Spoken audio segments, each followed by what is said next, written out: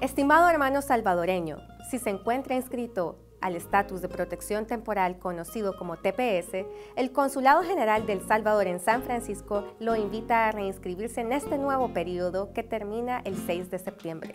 Para ir al consulado solo lleve la copia de la reinscripción anterior, el permiso de trabajo actual y dos money orders para el US Department of Homeland Security, uno por 85 dólares y el otro por 380. El servicio que le damos es totalmente gratis. Le esperamos.